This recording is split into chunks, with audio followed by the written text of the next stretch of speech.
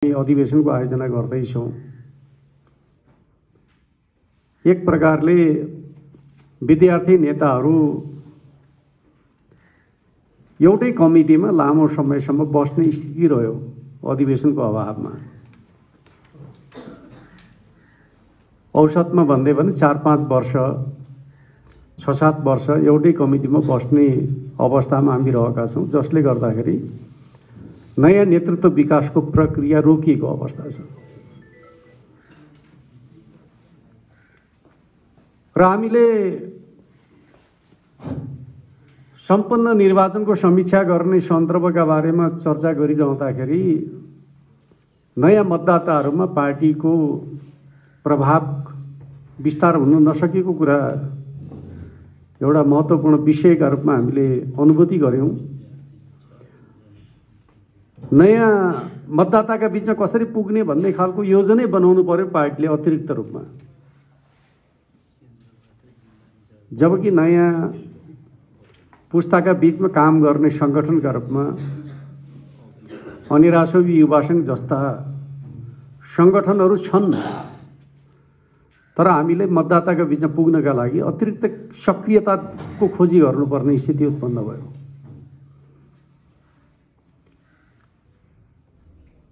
अनेरासोबीको काम भनेको नेतृत्वमा पुग्ने मात्रै हो भन्ने अर्थमा कतै हामीले बुझ्यौँ कि?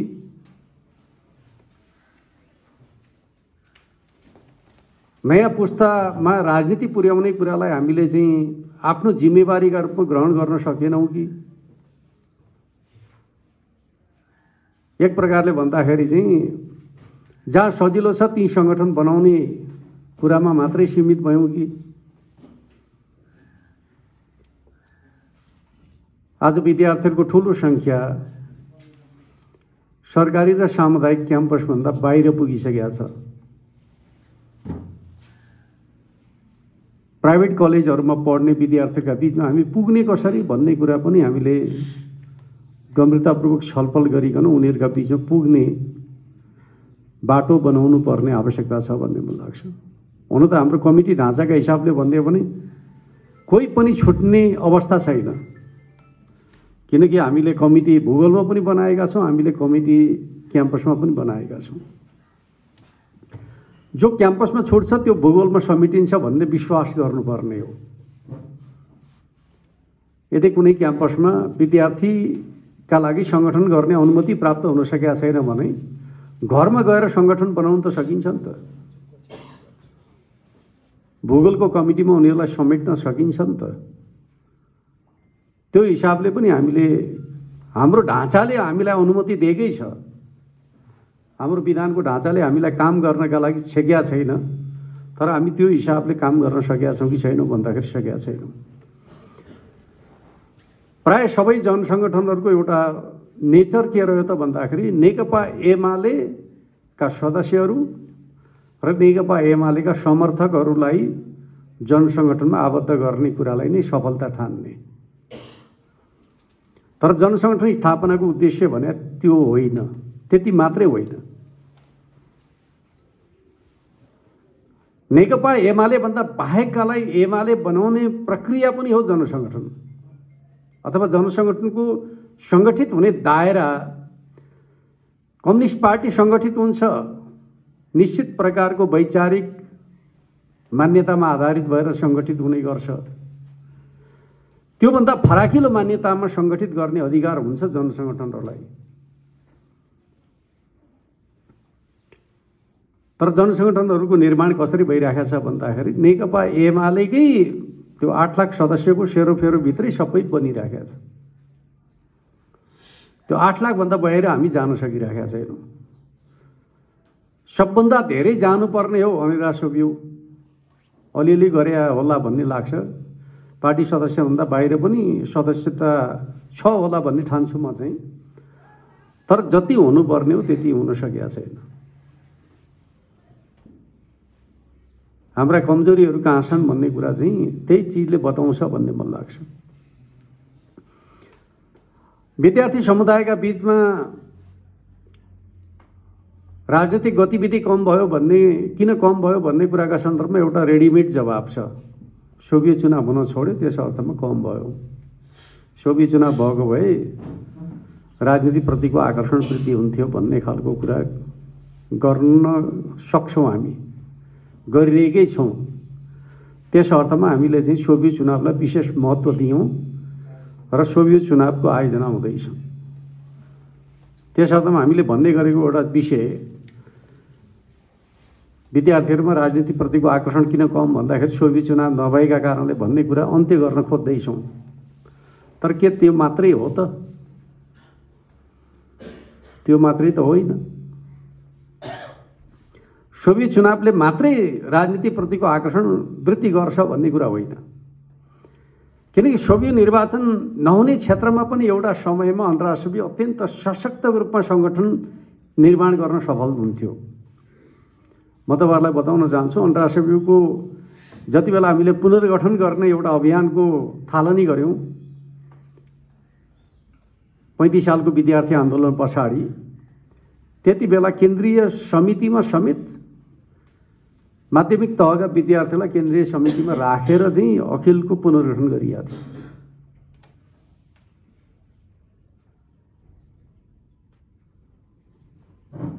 त्यसको अर्थ हामी त्यति तलसम्म थियौँ सङ्गठनका रूपमा। अहिले नेतृत्वमा रहनुभएका पार्टीका नेता कमरेडहरू चाहिँ कहिले तपाईँ सङ्गठित हुनुभयो भन्दाखेरि उहाँहरूले भन्ने भाषा के हुन्छ भन्दाखेरि स्कुलमा प्रागमा सङ्गठित भएको थिएँ भन्नुहुन्छ। राजनैतिक जीवनको यात्रा कहाँबाट सुरु भयो भन्दाखेरि स्कुलमा प्रागमा सङ्गठित भएर चाहिँ मैले राजनैतिक जीवन सुरुवात गरेका थिएँ भन्नुहुन्छ। पार्टीको नेतृत्वमा रहनुभएका नेता कमरेडहरू। तर आजको अखिल त्यो रूपमा छ कि छैन भन्दाखेरि छैन। यद्यपि हामी आफैले चाहिँ सोह्र वर्षको सीमा निर्धारण गरेका छौँ के अरे होइन? अखिलका रूपमा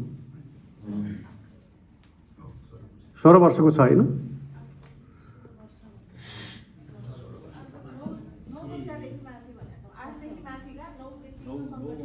त्यही सोह्र वर्ष अथवा माध्यमिक तहदेखि सङ्गठित गर्ने खालको कुरा गरेका छौँ। तर माध्यमिक तहमा हामी कति ठाउँ पुगेका छौँ? क्याम्पसमा आउने विद्यार्थी विद्यालय तहमा चाहिँ तपाईँहरूसँग जोडियो भने बल्ल क्याम्पसमा आउने विद्यार्थीले अखिल खोज्दै आउँछ। जब तपाईँ तब तपाईँ तल सङ्गठन गर्नु भएको छैन भने अखिल खोज्न त मान्छे आउँदैन। त्यसपछि अखिल नखोज्नेहरूलाई तपाईँहरूले खोज्नुपर्छ। त्यो खोज्ने काम कति भएको छ भन्ने कुरा चाहिँ अब सोबीको परिणामले देखाउँछ। खोज्ने पनि बनाएका छैनौँ खोज्न पनि सकेका छैनौँ। खोज्ने भने चाहिँ नेतृत्व चाहिँ हरदम शिक्षण संस्थामा उपस्थित हुँदाखेरि चाहिँ बढी खोजिने होला भन्ने मन लाग्छ। त्यो गर्दाखेरि चाहिँ अब क्याम्पसहरूमा चाहिँ कस्तो स्थिति बनिया देख्छु भन्दाखेरि नेतृत्व क्याम्पस जाँदाखेरि दाईहरू आए भन्ने हुन्छ साथी आए भन्ने हुँदैन।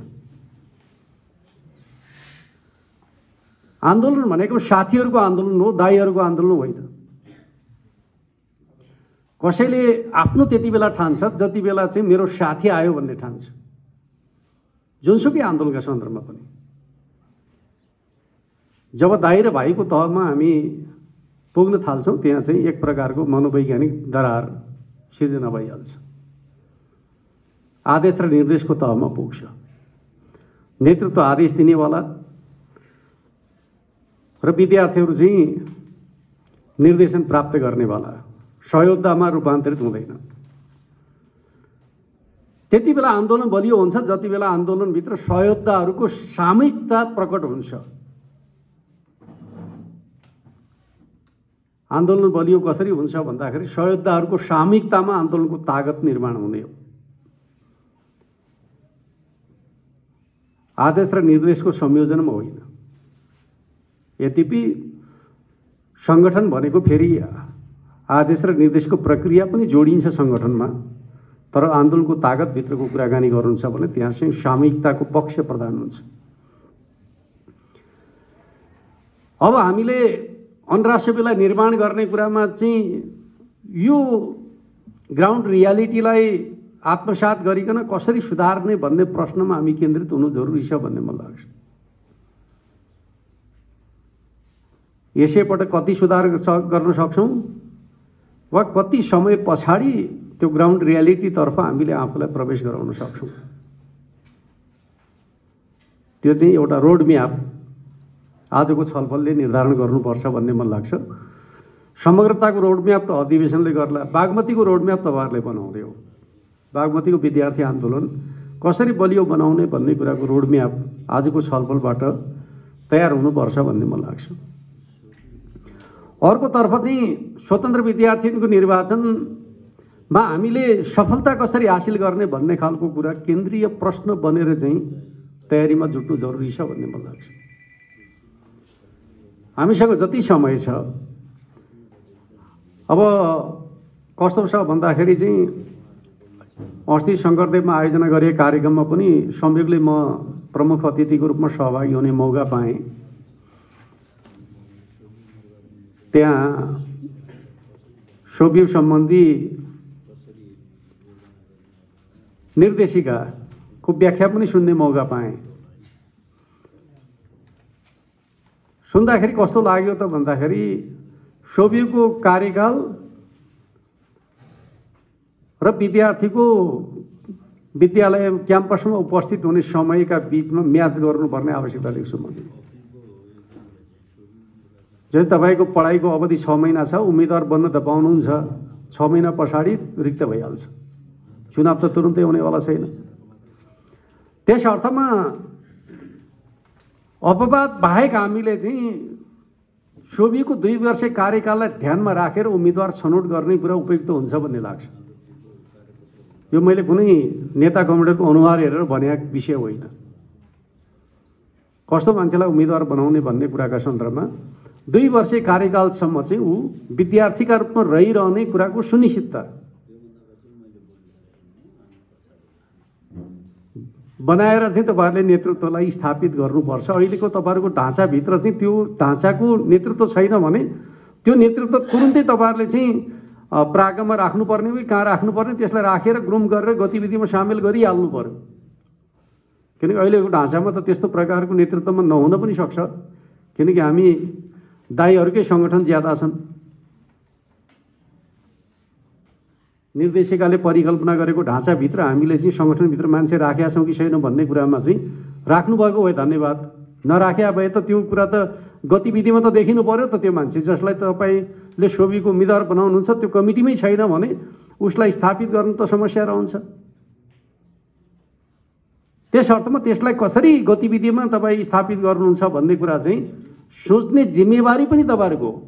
किन तपाईँहरू चाहिँ म के भन्छु भन्दाखेरि सोभि निर्वाचनको सञ्चालक हो।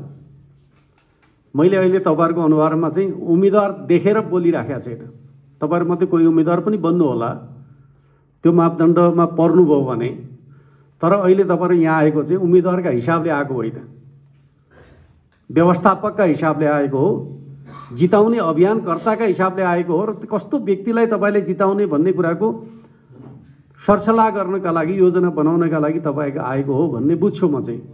त्यस अर्थमा अहिले तपाईँहरूले शङ्करदेवमा पनि मैले भनेको थिएँ आफूलाई केन्द्रमा राखेर होइन विद्यार्थी आन्दोलनको भविष्यलाई केन्द्रमा राखेर तपाईँहरूले छलफल गर्नुभयो भने सोभि निर्वाचनमा सफलताका आधारहरू हामी निर्माण गर्न सक्छौँ भन्ने मलाई लाग्छ। त्यो हिसाबले सोच्नु जरुरी छ भन्ने कुरा म तपाईँहरूका बिचमा राख्न चाहन्छु। अर्कोतर्फ सोभि निर्वाचनका सन्दर्भमा कुरा गर्दाखेरि मिश्रित निर्वाचन प्रणालीको कुरा हामीले गरेका छौँ। समानुपातिक पनि छ प्रत्यक्ष पनि छ।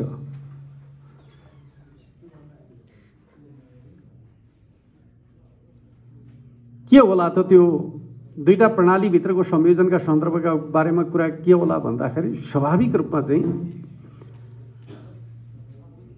विद्यार्थीहरूमा भिजेको लोकप्रिय मान्छेलाई तपाईँले प्रत्यक्ष रूपमा उठाउने र समावेशिताको संयोजनका कोणबाट अपरिहार्य ठानिएका व्यक्तिहरूलाई समानुपातिक सूचीमा राख्ने कुरा नै होला भन्ने मलाई लाग्छ। यद्यपि कहिलेकाहीँ चाहिँ भोट वृद्धि गर्नका लागि पनि समानुपातिक सूचीमा नाम राख्ने चलन हुन्छ। त्यस अर्थमा यो विषयलाई पनि ध्यानमा राखेर तपाईँहरूले चाहिँ उम्मेदवारहरूको टिमलाई हेक्का राख्नुपर्ने हुन्छ भन्ने म ठान्छु। त्यो हिसाबले पनि सोच्नु जरुरी छ भन्ने कुरा राख्न चाहन्छु। अर्कोतर्फ चाहिँ सोभि चुनावका सन्दर्भका बारेमा सुरक्षाको प्रश्न एउटा महत्त्वपूर्ण प्रश्न हुने गर्छ। सानोतिनो विवादले बिथोलिने जोखिम बढ्छ। पूर्व सतर्कता अप्नाइएन भने सानोतिनो विवादले जोखिम बढाइदिन्छ। त्यस अर्थमा चाहिँ कसरी सौहार्दपूर्ण वातावरणमा सोभियो निर्वाचन सम्पन्न गर्ने भन्ने कुरामा चाहिँ सुरक्षाको प्रबन्ध पनि अत्यन्त महत्त्वपूर्ण विषय हो। त्यो चिजलाई पनि हामीले स्वाभाविक रूपमा चाहिँ ध्यान दिनुपर्छ भन्ने मलाई लाग्छ। त्यसका लागि स्वाभाविक रूपमा आजको छलफलमा मलाई लाग्छ युवा पनि जोड्न सके भए राम्रै हुन्थ्यो भन्ने मलाई लाग्छ। त्यो चाहिँ हिसाबले भोलिका दिनहरूमा चाहिँ सुरक्षाका सन्दर्भका बारेमा चाहिँ अब हुन त बानुजी भएपछि कहाँ कहाँबाट चाहिँ सुरक्षाका प्रबन्धहरू गर्ने भन्ने कुरा स्वत निर्धारण गर्न सकिएला भन्ने मलाई लाग्छ। त्यो हिसाबले चाहिँ छलफल गर्नु जरुरी होला भन्ने मलाई लाग्छ।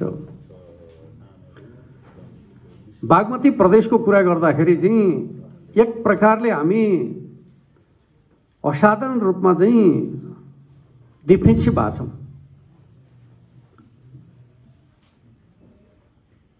अब कुरा गर्दाखेरि पनि बडा सङ्कोच अनुभव हुन्छ। चौहत्तर सालको निर्वाचनमा बागमती प्रदेश सबभन्दा बलियो प्रदेशका रूपमा रह्यो। देशभरिकै सबभन्दा बलियो प्रदेशका रूपमा बागमती प्रदेश रह्यो। आम निर्वाचन पछाडि चाहिँ पावर सेयरिङ गर्दाखेरि चाहिँ मुख्यमन्त्री र सभामुख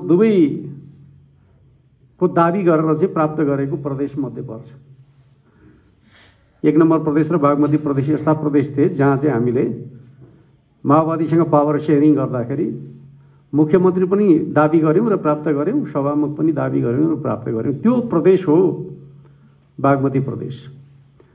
आज हामीसँग चाहिँ न मुख्यमन्त्री छ न सभामुख छ।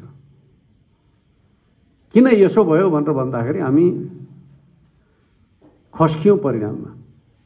कारण त्यही नै हो। अघिल्लो निर्वाचनमा सबभन्दा धेरै सांसद जिताउने प्रदेश हो बागमती प्रदेश।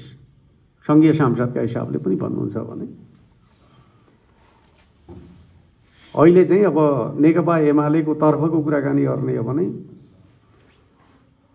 जम्मा चारजना मात्रै सङ्घीय सांसदहरू हामीले जिताउन सक्यौँ। प्रतिनिधि सभाको सिट भनेको तेत्तिस सिट हो। तेत्तिस सिटमा चार सिट मात्रै जितेका छौँ।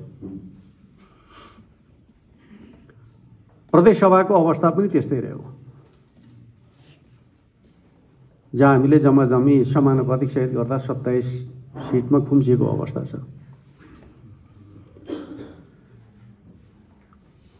मैले यो सबै कुरा गरिरहँदाखेरिको सन्दर्भ के हो त भन्दाखेरि यो जमात विद्यार्थीहरूको जमात जनमत निर्माण गर्ने अभियानमा चाहिँ राम्रै जुट्न सकेन भन्ने कुराको सङ्केत हो भन्ने लाग्छ। नेता साथीहरू त यहाँभन्दा फरक ठाउँका जिल्लाहरूमा गएर खट्नुभयो होला तर जो बागमतीमै आधारित भएर काम गर्नुभएको छ तपाईँहरूको सक्रियता पनि यसमा प्रकट भएको छ अथवा तपाईँहरूको निष्क्रियता पनि प्रकट भएको छ।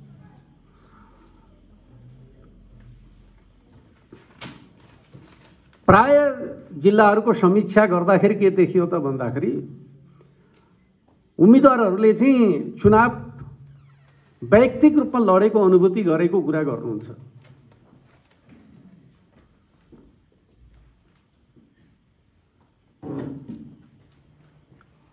र परिचालनका सन्दर्भमा भन्ने सबभन्दा गाह्रो भएको युवा र विद्यार्थीहरूलाई परिचालन गर्न गाह्रो भयो भन्नुहुन्छ।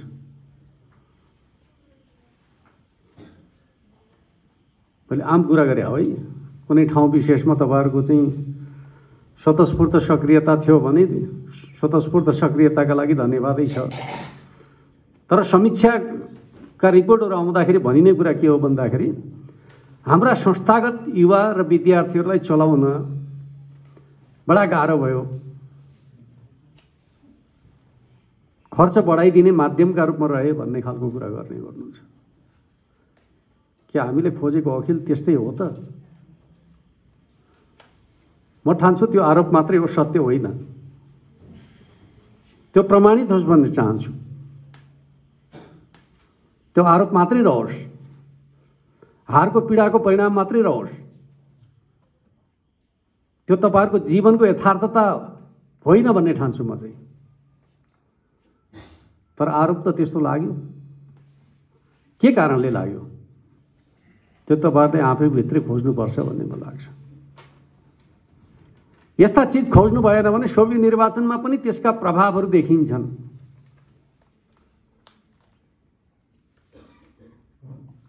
जसलाई उम्मेद्वार बनाउनुहुन्छ त्योभन्दा बाहेककाहरूको सक्रियता नभेटिने खालको जोखिम बढ्न पुग्छ।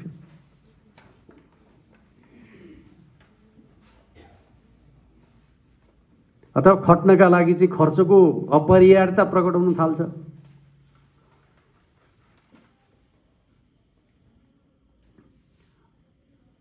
पुरानो समयको कुरा गर्दाखेरि अलिक कथा जस्तो लाग्छ। हामीले त अधिवेशन गर्दाखेरि पनि पार्टीलाई लेबी बुझाउन सक्थ्यौँ। पार्टीसँग माग्ने होइन पार्टीलाई दिने गर्थ्यौँ। अधिवेशन आयोजना गर्दा पनि। सोभियत चुनाव गर्दाखेरि पनि बचत हुन्थ्यो। अलिअलि चन्दा उठाउँथ्यो त्यो चन्दा बचत गरेर चाहिँ फेरि पार्टीमै लेबी पठाउँथ्यो।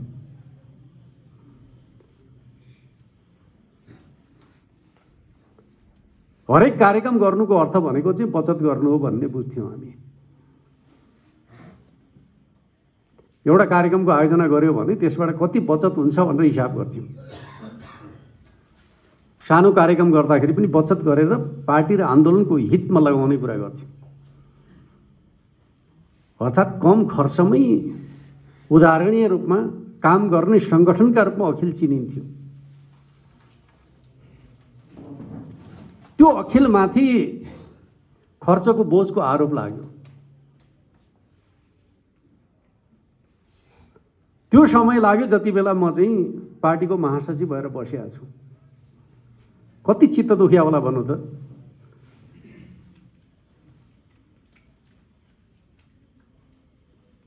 अखिलका बारेमा यस्तो प्रश्न उठ्दाखेरि के चित्त बुझ्ने कुरा होला? स्वाभाविक रूपमा होइन।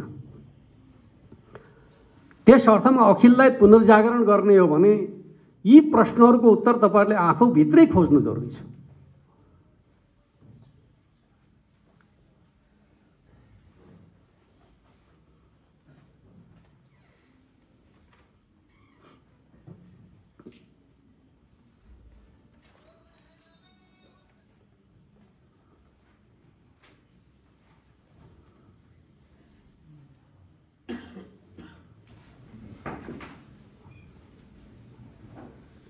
कार्यक्रमकै सन्दर्भका बारेमा हाम्रो गम्भीरता पनि अलिक कम कमै छ। पहिले हामी अतिथिहरू आएर बस्यौँ त्यसपछि तपाईँहरू चाहिँ आउने क्रम सुरु भयो।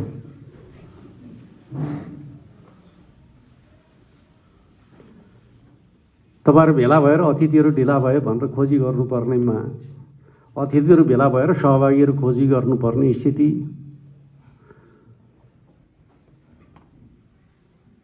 सन्देश राम्रो छैन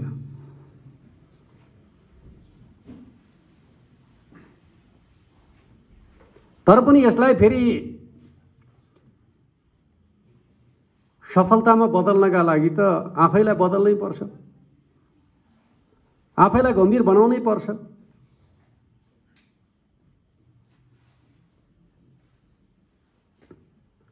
राजनीतिमा कस्तो छ भन्दाखेरि नेपालको राजनीतिभित्र चाहिँ बहस सबभन्दा पहिले नयाँ विषयमा बहस गर्नुपर्ने थलो कहाँ हो त भन्दाखेरि हामी के भन्थ्यौँ भन्दाखेरि चाहिँ जब चाहिँ आइसकेपछि जबजलाई सबभन्दा छिटो अन्तर्राष्ट्रियले ग्रहण गर्यो पार्टीका पुराना स्थापित नेताहरूले जबजलाई स्वीकार्न बडा गाह्रो भएको थियो। अहिले एकीकृत समाजवादीका नेता माधव नेपाल आफूलाई जबजको हिमायती भन्नुहुन्छ।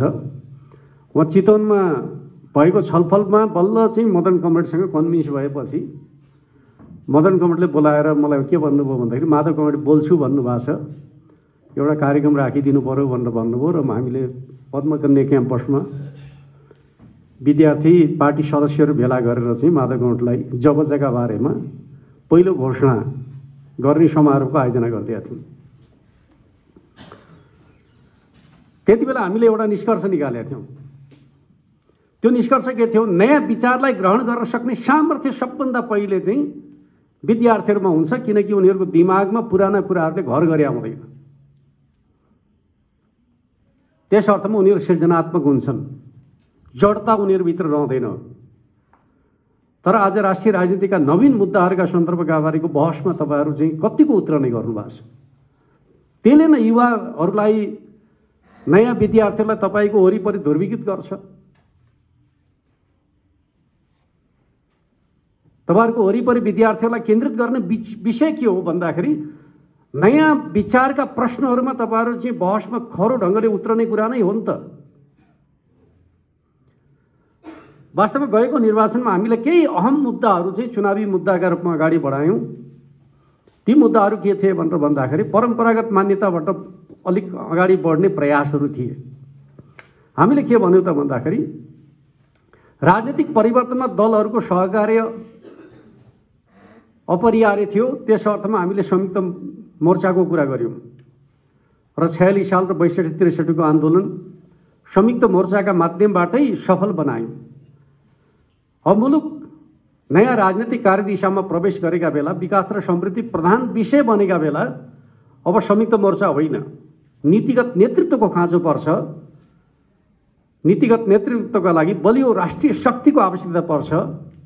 अब नेपालमा धेरै राजनैतिक दलहरू होइन। थोरै राजनैतिक दलहरूतर्फ जानुपर्छ। राजनीतिक ध्रुवीकरण आजको आवश्यकता हो भन्ने कुराको एजेन्डालाई प्रस्तुत गऱ्यौँ। त्यो विषयलाई बोकेर बहसमा तपाईँहरूले आफूलाई प्रस्तुत गर्न सक्नु भएन अथवा त्यो विषयलाई तपाईँहरूले आफ्नो एजेन्डा बनाएर चाहिँ नेतृत्व गर्न सक्नु भएन र चुनाव के भयो? एजेन्डा आधारित हुनै सकेन। किनकि सहर बजारमा हामी किन कमजोर भयौँ भन्दाखेरि सहर बजारको चुनाव एजेन्डा आधारित बन्न सके भए स्वाभाविक रूपमा हाम्रा एजेन्डाहरू राम्रा थिए हामी स्थापित हुन्थ्यौँ। सहर बजारको चुनावमा परिवर्तनका एजेन्डाहरू विकास र समृद्धिका एजेन्डाहरू स्थायित्वका एजेन्डाहरूलाई हामीले स्थापित गर्न सक्यौँ सकेनौँ भन्दाखेरि सकेनौँ। हामीले अलिअलि गर्न खोजेको कुरा भनेको विगतमा हामीले गरेका राम्रा कामहरूको चर्चा केही गऱ्यौँ होला। पार्टीको नेतृत्वमा हामीले यस्ता काम गऱ्यौँ होला भन्ने कुरा गऱ्यौँ होला। इतिहास शिक्षाको विषय हो। भविष्यको बाटो गन्तव्य हो। त्यस अर्थमा हामीले नयाँ पुस्तालाई ढोर्याउने विषय के हो त भने विगतमा के गर्यौँ भन्ने कुरा नयाँ पुस्ताका लागि त्यति मायने राख्दैन। नयाँ पुस्ताले अर्थ राख्ने कुरा के हो भने आफ्नो भविष्यसँग जोडिएका एजेन्डाहरू के हुन् भन्ने कुराको अर्थ राख्छ। ती विषयहरूमा हामीले कतिको बहस गऱ्यौँ त विगतमा भनेर भन्दाखेरि गर्न सकेनौँ। त्यही भएर नयाँ पुस्ता हामीसँग जति जोडिनु पर्ने हो जोडिन सकेन। बरु त्यसका ठाउँमा के भइदियो त भन्दाखेरि नेपालको राजनीतिका सन्दर्भमा भन्नुहुन्छ दुईवटा पश्चिमा साम्राज्यवादीहरूले प्रयोग गरेका दुईवटा एजेन्डाले हाम्रो नेपालको राजनीतिलाई अत्यन्त गम्भीर रूपमा प्रभावित भयो संविधान सभाको समयमा एकल जातीय पहिचानको एजेन्डाले यति ज्यादा गहिरो असर पार्यो कि नेकपा माओवादी केन्द्र चाहिँ त्यो एजेन्डाको जगमा नेपालको बलियो शक्तिका रूपमा उदय भयो। जबकि त्यो एजेन्डा नेपालको लोकप्रिय कम्युनिस्ट आन्दोलनलाई कमजोर पार्नका लागि प्रयोग गरेको हतियार थियो। र हामीले त्यो एजेन्डालाई एकल जातीय पहिचानलाई बहुपहिचानका माध्यमबाट बहुपहिचानलाई साझा पहिचानका माध्यमबाट तिन स्टेपमा रूपान्तरण गरेर चाहिँ आज नेपालको राजनीतिलाई जातीय राजनीतिको एक प्रकारको चाहिँ समस्याबाट चाहिँ एक खतसम्म हल गऱ्यौँ अहिले चाहिँ नेपालको राजनीतिमा जातीयताको प्रश्न चाहिँ समस्याको तहमा प्रवृत्तिको तहमा त छ समस्याकै तहमा त्यो चाहिँ अब रहेन। किनकि त्यसलाई हामीले चाहिँ साझा पहिचानको एजेन्डाद्वारा हल गर्ने कुरामा सफलता प्राप्त गर्यौँ। खास गरी चौहत्तरको निर्वाचन त्यो निर्णायक कदम रह्यो जसले चाहिँ नेपालमा जातीय एजेन्डालाई चाहिँ साझा एजेन्डामा बदल्ने कुरामा सफलता हासिल गर्यो। र नेपालका सङ्घीयताको नामाकरणका प्रश्नमा हामीले त्यसमा नेतृत्व गऱ्यौँ र प्राय सबै प्रदेशहरूको नामाकरण साझा पहिचानमा आधारित भएर निर्माण गर्न सफल भयो।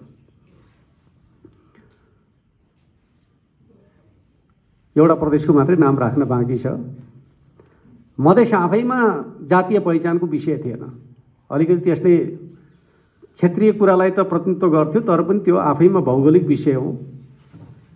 यो हिसाबले भन्यो भने नेपालको राजनीतिभित्र चाहिँ हामीले जातीयताका नाममा चाहिँ समाजलाई विभाजित गर्ने र अस्थिरता सिर्जना गर्ने पश्चिमा एजेन्डालाई हाम्रै पार्टीको नेतृत्वमा हामीले असफल बनायौँ। तर यसपटकको चुनावमा हाम्रो नेपालको राजनीतिभित्र फेरि फेरि राजनीतिमा धर्मको एजेन्डालाई प्रवेश गराउने कुराहरूमा चाहिँ उनीहरू सफल भए। एकातिर परम्परागत सनातन धर्म हिन्दू संस्कृतिको रक्षा गर्ने नाममा पन्थ सम्प्रदायको गतिविधिहरू चाहिँ सहरी क्षेत्रहरूमा तीव्र ढङ्गले बढ्यो। र पन्थ सम्प्रदाय आधारित धार्मिक सङ्गठनहरूले चाहिँ राजनीतिक स्वरूप ग्रहण गरे। र त्यसको प्रभाव राष्ट्रिय प्रजातन्त्र पार्टीले सहरी क्षेत्रमा राम्रै गरी प्राप्त गरेका देखिन्छ। अर्को नेपालमा पश्चिमा शक्ति केन्द्रहरूले आफ्नो प्रभाव विस्तार गर्नका लागि धर्मान्तरलाई प्रयोग गरे पश्चिमा संस्कृतिको प्रभाव जुन रूपमा बढेको छ त्यसलाई राजनीतिक आवरणमा दिनका लागि गरिएका प्रयासहरू चाहिँ स्वतन्त्र पार्टीको चाहिँ अस्वाभाविक उदयका रूपमा प्रकट भयो। जबकि यो दुईवटा कोणबाट तपाईँले हेर्नुहुन्छ भने राजनीतिमा धर्मको प्रयोग अनुचित हो भन्ने कुरा चाहिँ युरोपेली क्रान्तिका समयमै स्थापित भएको विश्वव्यापी स्वीकार्य मान्यता हो। यो कुनै आ आजको आधुनिक राजनीतिको मान्यता होइन। हामीले कुनै नयाँ कुरा गरे होइन। विश्व राजनीतिभित्र चाहिँ धर्म र राजनीति चाहिँ अलग विषय हुन् भन्ने मान्यता विश्व राजनीतिको मान्यता हो। त्यो मान्यतालाई हामीले नेपालको राजनीतिमा चाहिँ सुरुदेखि आत्मसात गर्दै आयौँ र त्यो मान्यतालाई आज खण्डित गर्ने कोसिस भइरहेको छ। यो अस्थिरताको प्रयास नै हो। यो कुनै नेपाललाई स्थायित्वतर्फ विकासतर्फ समृद्धितर्फ लैजाने बाटो हो कि होइन भन्दाखेरि होइन। न त धर्मान्तर नेपाली समाजको अग्रगतिको बाटो हो। न वैदिक सनातन हिन्दू धर्म संस्कृतिका नाममा राजनीतिकरण चाहिँ समाधानको बाटो हो। दुवै कुरा चाहिँ राजनीतिलाई अस्थिरतातर्फ लैजाने प्रयासहरू हुन्। जुन कुरा आज नेपालको राजनीतिको एउटा यथार्थका रूपमा प्रकट भएको छन् यस्तो पुरानो चिन्तन नेपाली समाजमा हाबी हुन पुग्नुको पछाडिको कारण आजको युवा पुस्ता वैचारिक प्रश्नमा चाहिँ कम ध्यान दिएकै कारणले हो। मेरो त एक प्रकारले भन्नुहुन्छ भने तपाईँहरू राजनीतिक बहसमा नआएका कारणले यस प्रवृत्ति समाजमा हाबी भयो। केही होइन र तपाईँहरू राजनीतिको बहसमा खरो उत्रेको भए यस्ता प्रवृत्तिहरूले ठाउँ पाउँथे ठाउँ पाउँदैनथे त्यस अर्थमा हामी कहाँ चुकेका छौँ भन्दाखेरि यस्ता कुराहरूमा हामी चुकेका छौँ अर्कोतर्फ म तपाईँहरूलाई के कुरा बताउन चाहन्छु त भन्दाखेरि हुन त अखिल र युवा सङ्घले बेला बखत सामाजिक मुद्दाहरूमा सडकमा जाने गरिरहेकै छ। त्यो चिज सकारात्मक पनि छ। तर त्यसको प्रभावकारिता कति रह्यो भन्ने खालको कुरा आफ्नो ठाउँमा छ। तर मैले पार्टीको कोणबाट विश्लेषण गर्दाखेरि के पाएँ त भनेर भन्दाखेरि यो पाँच वर्षको अवधिमा चौहत्तर सालदेखि यताको अवधिमा नेकपा निर्माण र नेकपा रक्षाका नाममा वा पार्टीको रक्षाका नाममा हामीले सारा ऊर्जा खर्च गऱ्यौँ हाम्रो सारा मेहनत कहाँ गयो त भन्दाखेरि आन्दोलनको रक्षामा केन्द्रित भयो। पार्टीको रक्षामा केन्द्रित भयो। जनसरोकारका प्रश्नहरूमा हामी चाहिँ खरो उत्रन सकेनौँ। मैले काठमाडौँ उपत्यकाका हकमा चाहिँ यसो सम्झना गरेको पार्टीका तर्फ जनसरोकारका प्रश्नमा केन्द्रित भएर चाहिँ आकर्षक प्रदर्शनको योजना बनाएको घटना सम्झिँदाखेरि जम्मा एउटा घटना। त्यो पनि पार्टी केन्द्रीय कार्यालयको संयोजनमा महँगी विरोधी एउटा प्रदर्शनको आयोजना गरियो। त्यो पनि मनसुनी पानीका कारणले गर्दाखेरि बिथोलियो त्योभन्दा बाहेकको गतिविधि नै हामीले गरेनौँ। र अखिल रेवा सङ्घले गरेका सरोकारका विषयहरू चाहिँ पार्टीसँग जोडियो जोडिन पार्टीसँग जोडिएनन् भन्नुको अर्थ स्थानीय जनतासँग जोडिएन। स्थानीय जनतासँग नजोडिएका विषयहरूले स्वाभाविक रूपमा चाहिँ जनमत निर्माण गर्न सक्दैनथे र आज सहरिया क्षेत्रको जनमत हाम्रो विपक्षमा किन देखा पर्यो? कतिपयले भन्दै गर्नुहुन्छ पार्टीहरूले चाहिँ उपेक्षा गरेका कारणले गर्दा जनताले विद्रोह गरे भन्नुहुन्छ होइन? वास्तवमा त्यो विद्रोह उपेक्षा गरे ठाउँले गरे हो भनेर म यसो डेटा केलाउने प्रयास गर्छु। सबभन्दा धेरै नयाँ पार्टीतर्फको झुकाव कहाँ देखिन्छ भनेर भन्दाखेरि चाहिँ काठमाडौँ उपत्यका चितवन उपत्यका पोखरा उपत्यका रूपन्देही दाङ झापा मोरङ सुनसरी र पूर्व पश्चिम राजमार्गमा आधारित बस्तीहरू। जुन ठाउँ नेपालका सन्दर्भमा भन्नुहुन्छ भने सामाजिक विकासका दृष्टिकोणले पनि तुलनात्मक हिसाबले अगाडि बढेका पूर्वाधार विकासका दृष्टिकोणले पनि तुलनात्मक हिसाबले अगाडि बढेका र अवसर पाएका ठाउँहरूमै नयाँ प्रवृत्ति देखा पर्यो। त्यस अर्थमा सतै रूपमा गरिने विश्लेषणको कुनै अर्थ छ? छैन। कारण दुईवटा हुनसक्छ एउटा हामी नेकपाको अन्तर सङ्घर्ष वा एमाले भित्रको अन्तर सङ्घर्षमा एक अर्काका विरुद्ध जे जति हाम्रो फोर्स प्रयोग भयो त्यसले नेतृत्वलाई कमजोर बनाइदियो। जनताप्रति चाहिँ वितृष्णा पैदा गरिदियो। एउटा कारण त यही होला। दोस्रो कारण के हो त भन्दाखेरि सामाजिक मुद्दाहरूमा हाम्रो उपस्थिति कम भयो र त्यो ठाउँ कसले लियो त भन्दाखेरि एक प्रकारले भनिदियो भने सोसल मिडियाका क्याम्पनर क्याम्पेनरहरूले लिए। रवि लामिछाने ज्ञानेन्द्र साई अथवा राप्रपाकै नेता लिङदेनजी जो अलिकति नयाँ ढङ्गले सोसियल मिडियालाई मोबिलाइज गरिकन राजनीतिमा अगाडि आउने प्रयास गरे उनीहरूले सामाजिक मुद्दाहरूलाई चाहिँ क्यास गर्ने प्रयास गरे। र एक प्रकारले जनतामा के पर्यो त भन्दाखेरि यिनीहरू पो हाम्रो सरकारका पक्षमा बोल्दा रहेछन् भन्ने प्रकारको चाहिँ मनोवैज्ञानिक प्रभाव पर्न गयो र जनमत एक प्रकारले। अघि मैले धर्म एजेन्डाले मात्रै सबै चिजको निर्धारण गरे हो भन्ने कुरा होइन भन्ने कुराका सन्दर्भमा यो सोसल एजेन्डाको कुरा तपाईँहरूको बिचमा राख्नु खोजे हो। त्यस अर्थमा हामीले फेरि आफूलाई जनतामा स्थापित गर्नु छ भने के गर्ने भन्ने कुरा यो रियलाइजेसनबाट प्रकट हुन्छ भन्ने मलाई लाग्छ। धेरै कुराहरू मैले कमेन्टका बिचमा सविस्तार चर्चा गर्नुपर्छ भन्ने मलाई लाग्छ।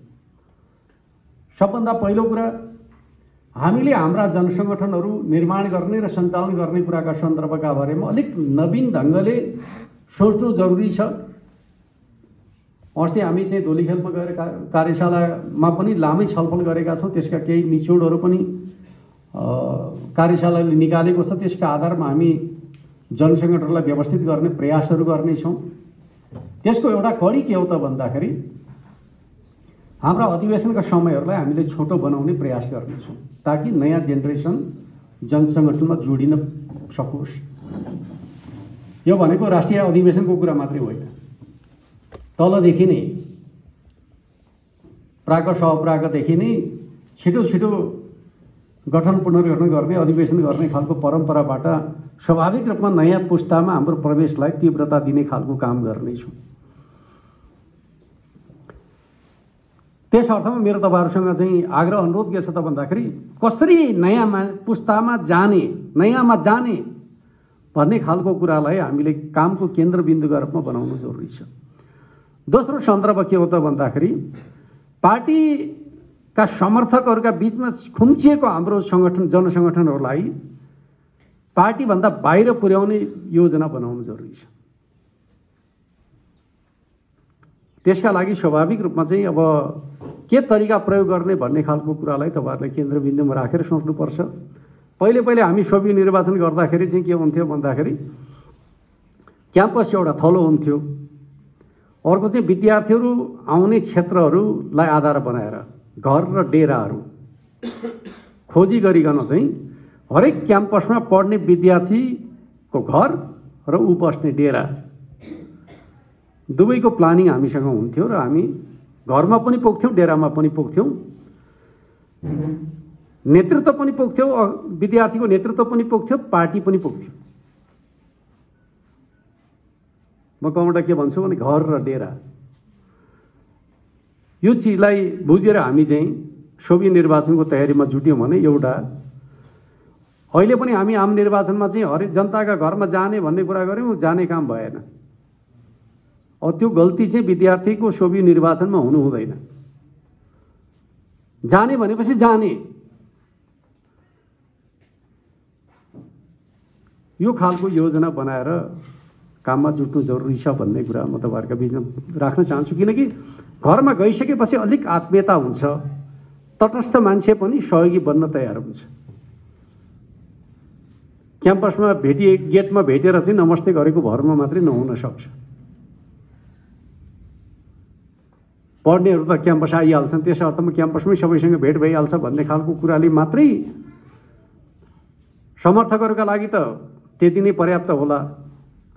तर नयाँ सम्बन्ध विस्तारका लागि भनेको उनीहरूको डेरासम्म उनीहरूको घरसम्म पुग्ने कुरा चाहिँ जरुरी हुन्छ भन्ने मलाई लाग्छ।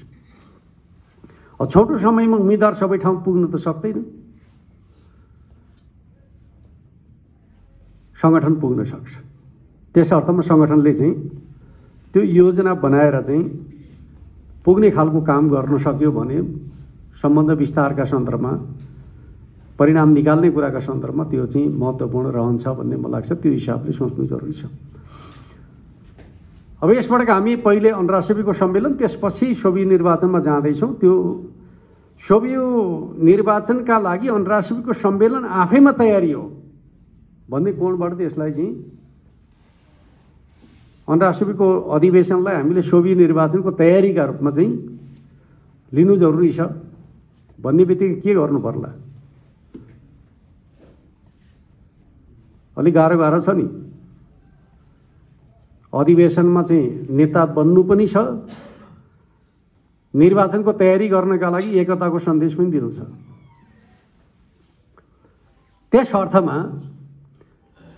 यसपटक त म के भन्छु भन्दाखेरि चाहिँ म भन्ने विषयलाई प्रकट नगरौँ। किनकि सोभि चुनाव जित्नुपर्ने छ म भन्ने विषय प्रकट नगरिकन को भन्ने विषयमा जाउँ। योग्य मान्छे अरूले बताउने हो। आफैले आफैलाई योग्य घोषणा नगरौँ। यसपटकको सन्दर्भमा चाहिँ सम्मेलनका सन्दर्भमा पनि मेरो आग्रह के छ भन्दाखेरि म योग्य भन्ने अर्थमा चाहिँ सामाजिक सञ्जालमा धेरै पोस्ट नगरिराखौँ। चिनेकै छ त विद्यार्थीले तपाईँले हिजो सडकमा खाएको लाठी ढुङ्गा आदि इत्यादिको चर्चा गरिरहनु पर्छ र। आफ्नो प्रशंसा आफै गर्दै नगरौँ। गर्ने गर्नु भएको छ भने पनि अब चाहिँ त्यसलाई बन्द गरिदिउँ कम्तीमा त्यो म भन्ने कुरालाई हटाइदिउँ किनकि त्यो मले सोभियो निर्वाचनलाई असर गर्छ। बुझ्नुभयो नि? किनकि सोभि निर्वाचन त जित्नै छ। सोभि निर्वाचन जिताउने कुरा तपाईँ विद्यार्थी नेता भए पनि नभए पनि जरुरी छ। पार्टी नेता हुँदाखेरि पनि सोभि निर्वाचन जित्यो भने पार्टी नेताका रूपमा तपाईँको भूमिका भोलि प्रभावकारी हुन्छ। सोभियो हराएर आएको नेता भनेपछि के हुन्छ? सर्वनाक पराजय बेहोरेर त्यस पछाडि पार्टी कामको जिम्मा लिन आउनुभयो भने कसरी टेर्छ? कसैले टेर्दैन। सोभीमा शानदार ढङ्गले सफलता हासिल गरिकन तपाईँ पार्टीको जिम्मा लिन आउनुभयो भने अब म आएँ हारेको ठाउँ जिताउन सक्छु किनकि मैले विद्यार्थी आन्दोलनभित्र सोभी जिताएर आएको त्यो सन्देश दिन पाउनुहुन्छ नि तपाईँले त्यस अर्थमा केन्द्रबिन्दुमा के रा केलाई राख्ने त भन्दाखेरि सोभि निर्वाचनमा प्रतिकूल असर पर्ने प्रकारको गतिविधि अन्तर्राष्ट्रियको अधिवेशनका सन्दर्भमा हामी कसैबाट हुने छैन। यो बागमतीमा रहनुभएको नेतृत्वले त यति उदार समझदारी देखाउनु हुनेछ पहिले पहिले भूमिगत कालमा के हुने गर्थ्यो भन्दाखेरि को नेता भन्ने कुरा? एउटा दुइटा अधि अधिवेशनको सन्दर्भ म तपाईँलाई सुनाइहालौँ। एउटै थलोमा अधिवेशन हुँदैन थियो। धेरैचोटि व्यवस्थापन गर्ने जिम्मा त हाम्रो कृष्ण गोपाल कमरेडहरूको हुन्थ्यो होइन सेल्टर खोजिदिने कुन सेल्टरमा के भयो भन्ने कुरा चाहिँ ठाउँै अलग अलग भइसकेपछि कहाँ के विषयमा के छलफल भएको छ भन्ने कुराको जानकारी हुन्थ्यो र।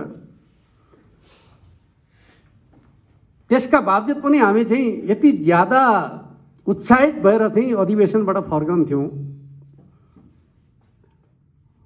र त्यति बेला के हुन्थ्यो भनेर भन्दाखेरि व्यक्ति आफू विदा हुन खोज्ने समूहले उसलाई बस्न बाध्य पार्ने। पार्टीले भन्यो क्या अरे अब ठिकै छ एक अवधिका लागि भन्नुपर्ने भाषामा हामी नेतृत्वमा रहन्थ्यौँ।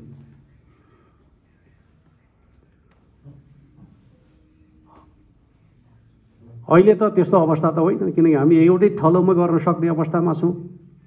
र सिङ्गे विद्यार्थी समुदायले को चाहिँ अब्बल छ भन्ने कुरा स्वत चिनेकै छ त। त्यो कुरा के हुन्छ भन्दाखेरि तपाईँलाई को अब्बल छ भन्ने कुरा चाहिँ खुलेर भन्न मन अलिक सङ्कोच लाग्छ भने किनकि साथीहरूलाई किन मन दुखाउने भन्ने कुरा लाग्छ भने माधव ढुङ्गेलाई सबैले बताइदिने। को अप्पल छ भन्ने कुरा माधव ढङ्गेलाई एक्लै एक्लै भेटेर भट बनाउनु त सक्नुहुन्छ नि। सबैले बताउनु भयो भने माधव ढङ्गेले चाहिँ योग्य तपाईँहरूले ठानेको योग्यहरूमध्ये यो यो चाहिँ को अपेक्षा विद्यार्थीले राखेर रहेछ भन्यो भने तपाईँहरूले मान्दै सकिँदैन।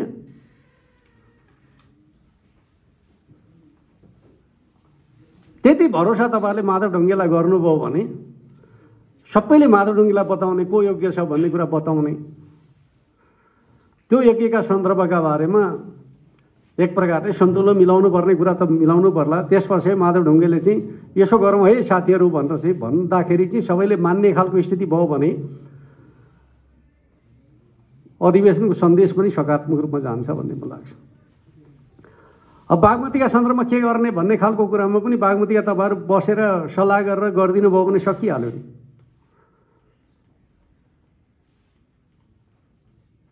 त्यस अर्थमा म के भन्छु भन्दाखेरि चाहिँ जो अखिलमा रहेर काम गर्ने हो अखिलमा रहने जो अखिलबाट विदा हुने हो त्यसका लागि पार्टीको जिम्मेवारीका सन्दर्भका बारेमा माधव गौडी मार्फत तपाईँहरूले पार्टीलाई भन्ने पार्टीले कहाँ कहाँ व्यवस्थापन गर्नुपर्ने हो गर्ने। जनसङ्गठनमा व्यवस्थापन गर्नुपर्ने हो। जनसङ्गठनमा व्यवस्थापन गर्ने भानुकमठलाई बनाउला पार्टीमा व्यवस्थापन गर्नुपर्ने। काशीनाथ कमरेडलाई केशव पाण्डे कमरेडलाई बनाउला मैले बागमतीका सन्दर्भको कुरा गर्दैछु। त्यो हिसाबले चाहिँ हामी अगाडि बढ्न सक्यौँ भने मलाई लाग्छ सोभि चुनावलाई पनि हामीले अत्यन्त सफल बनाउन सक्छौँ। एउटा विषय कस्तो हुँदो रहेछ भन्दाखेरि अस्ति वैदेशिक रोजगार व्यवसायी सङ्गठनको चाहिँ अधिवेशन आयोजना के अरे सम्मिलित चुनाव हुँदै थियो। साथीहरू भेला भएको थिए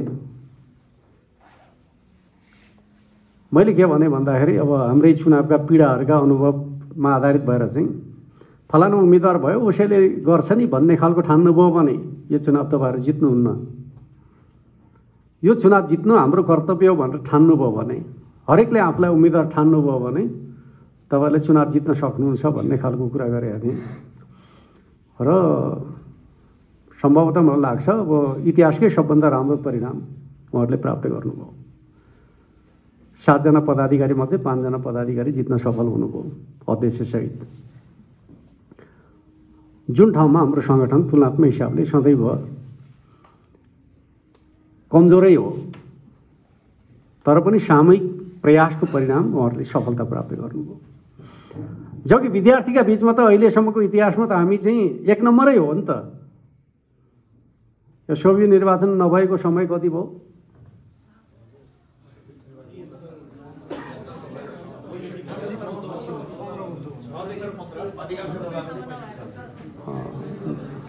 पन्ध्र बिस वर्ष भइसकेछ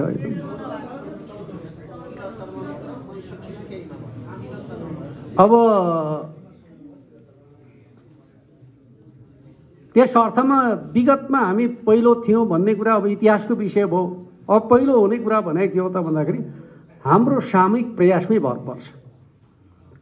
त्यो मनोविज्ञान त धेरै पुरानो भइसक्यो। अहिले आउँ पढ्न आएका विद्यार्थीहरूले त त्यति बेला अखिलको चुनावको विषय जानकारी राख्ने त नेता बाहेकहरूले राखेकै छैन। तपाईँहरू नेतासम्मले त जानकारी राखे होला।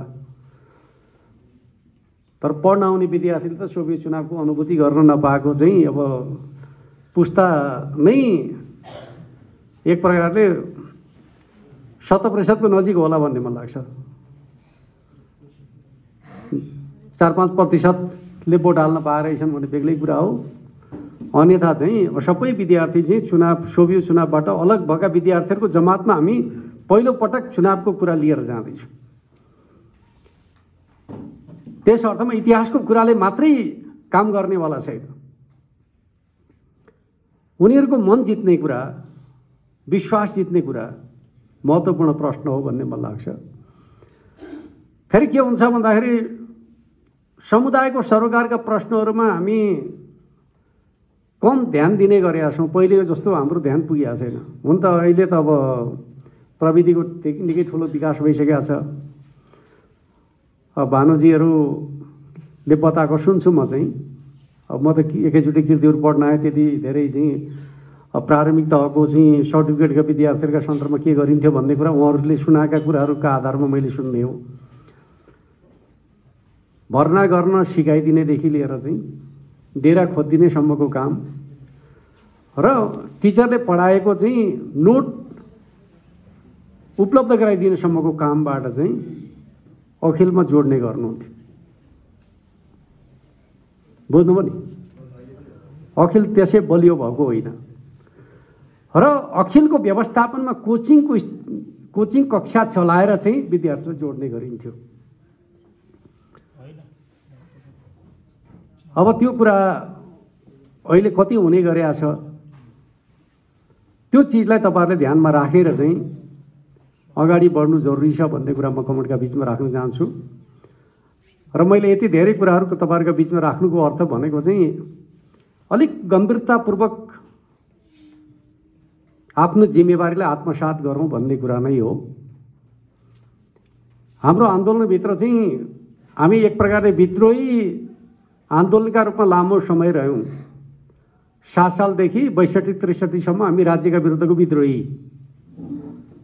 सदैव विद्रोहीका रूपमा रहँदाखेरि चाहिँ अधिकारका कुराहरू ज्यादा भए। अबको युवा पुस्तालाई कर्तव्यसँग जोड्नुपर्ने आवश्यकता छ। विकास र समृद्धिको नेता बनाउनका लागि त्यस प्रकारको योजनामा जुट्नु जरुरी छ। अध्य हाम्रो अध्यक्षले चाहिँ समाजका तिनवटा चुनौती भनेर अहिलेको समाजको चित्रण गर्ने गर्नुहुन्छ। पहिलो चुनौती भनेको चाहिँ राजनीतिक अस्थिरता र अराजकता। दोस्रो चुनौती सांस्कृतिक विघटन विचलनको चुनौती र तेस्रो चुनौती आर्थिक सङ्कटको चुनौती भनेर भन्ने गर्नुहुन्छ। हामीले दसौँ महाधिवेशनबाट चाहिँ सङ्गठनात्मक अराजकता र अवसरवाद हाम्रो आन्दोलनका चुनौती भनेर भनेका छौँ।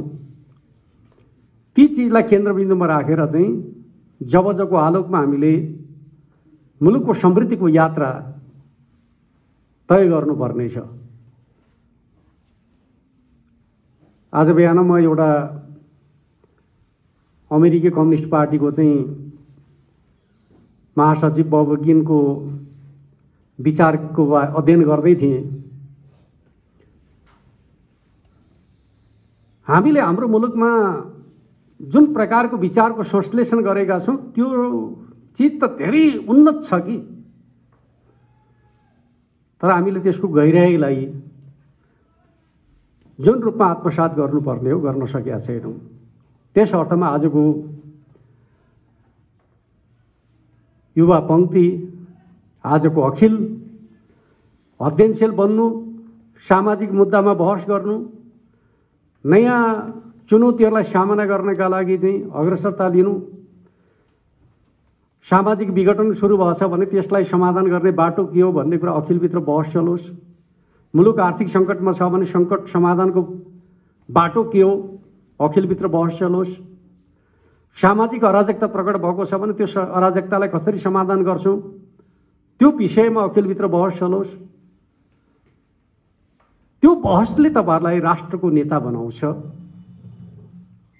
त्यस अर्थमा अखिल नेतृत्व विकासको कारखाना हो भन्ने कुरा हामीले सार्थक बनाउन सक्छौँ भन्ने मलाई लाग्छ। त्यो हिसाबले यो अन्तर्राष्ट्रियको अधिवेशन र सोभि निर्वाचन।